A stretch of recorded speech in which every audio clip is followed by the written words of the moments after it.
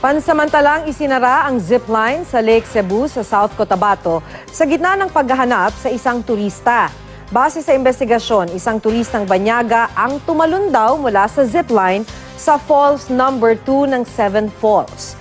May lalim na anim na raang talampakan ang bangin doon. Pwede pa rin pumasyal sa lugar pero limitado lang mula sa entrance hanggang sa Falls number 1 ang paglilibot.